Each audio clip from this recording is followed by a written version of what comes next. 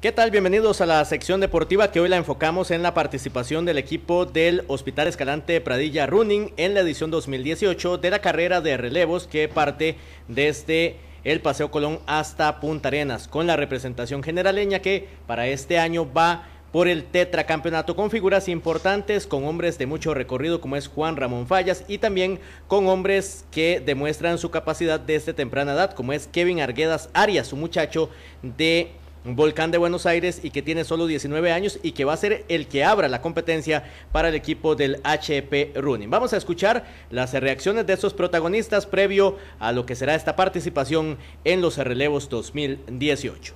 gracias a Dios un año más eh, a acompañar al doctor y no, me siento muy contento en los entrenamientos y ir a disfrutar bien lo que es la carrera de relevos.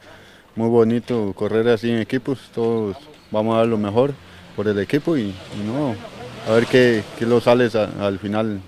Así es, eh, el año pasado también eh, me pidieron que les ayudara al equipo y este año nuevamente, gracias a Dios, entonces vamos a darlo todo, hemos estado preparándonos bastante bien, eh, entonces a ponerle bastante. Kevin, ¿qué, tramo te corresponde a vos? A mí me corresponde la salida, entonces ahí hay alguna cierta presión, pero la verdad ya yo lo he estado controlando y sé que con ayuda de Dios voy a poder lograr un buen rendimiento.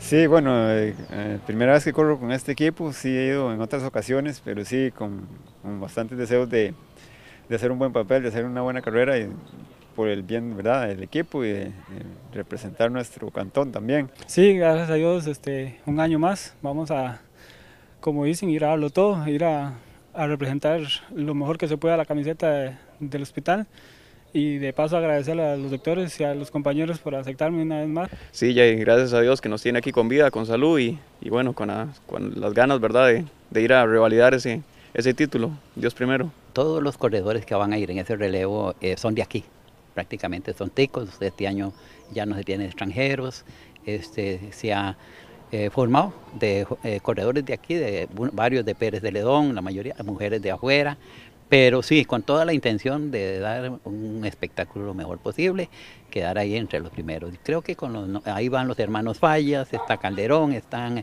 Jeremy, eh, Garita, todos son de un nivel bastante importante. Por lo tanto, pues eh, esperamos eh, estar ahí, estar ahí en los mismos primeros puestos donde ya la experiencia nos enseña lo que se debe trabajar, cómo se debe trabajar. Gracias a Dios nos ha ido muy bien, eh, vamos igual en la categoría mixta eh, el mismo equipo base que siempre hemos, hemos tenido.